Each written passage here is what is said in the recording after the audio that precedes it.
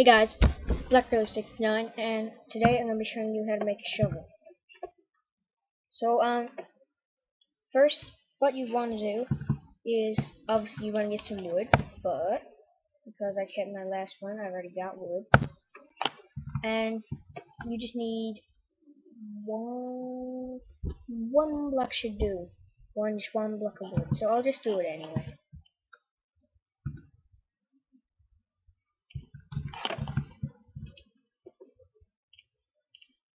Then you put that in there, get it, can make food, um, and sticks, and you have a wooden shovel.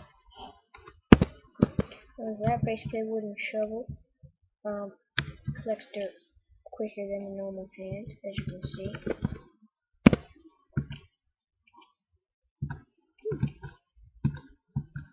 Um, so I guess that's it. Oh, it can also make snowballs.